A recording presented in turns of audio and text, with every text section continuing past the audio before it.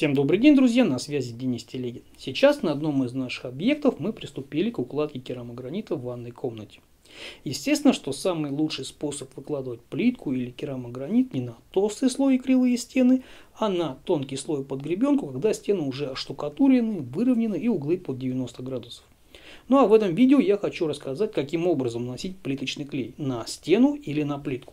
У каждого мастера есть своя технология. Кто-то, к примеру, наносит плиточный клей при помощи гребенки на стену. Кто-то, наоборот, наносит плиточный клей на керамогранит. Мы делаем следующим образом. Тонкий слой плиточного клея на сдир мы наносим на стену, а основную массу клея мы наносим на керамогранит и разравниваем гребенкой. Таким образом, клей у нас находится и на стене, и на плитке. После того, как мы разровняем плиточный клей гребенкой, по всему периметру керамогранита мы снимем излишки клея. Это делается для того, чтобы эти излишки клея в процессе монтажа не вылезли в швах. То есть самое главное в процессе монтажа плитки или керамогранита делать швы чистыми. В противном случае, если плиточный клей засохнет, то удалить его будет очень проблематично.